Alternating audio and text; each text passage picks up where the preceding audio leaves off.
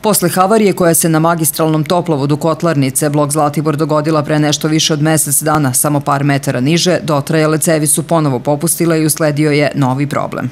Pa upravo tako nalazimo se kod pozor štolice Marije Magije Magazinović gdje je došlo do havarije, znači do pucanja magistralnog toplovoda, tako da je ugrožen rad čitavog postrojenja blok Zlatibor.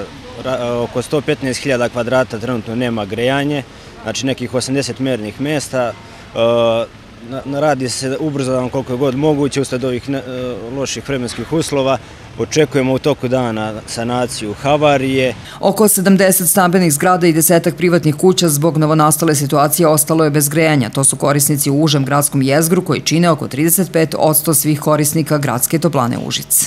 I neko izvinjenje da uputimo građanima i ukoliko je moguće da nadoknadimo, znači radit će se produženo ovaj, u postrojenju u toku večeri tako da mislim da će grejanje biti znači, u večernjim satima posle 6 pa do nekih 11-12 sati. Uzrok pucanja cevi je dotrajalost i njihova starost od preko 20 godina. Podsjetimo, u toku ove godine zamenjeno je oko 2 km toplovodne mreže, a kako nam je nedavno rekao direktor Gradske toplane Užice, bit će potrebno 5 do 6 godina kako bi se ovim intenzitetom izmenio kompletan toplovod. Do tada, havarije poput one oktobarske ili ove poslednje nisu isključene. Ipak, kao i ovog puta, ekipe Gradske toplane radit će na što efikasnijem otklanjanju svih nepredviđenih kvarova.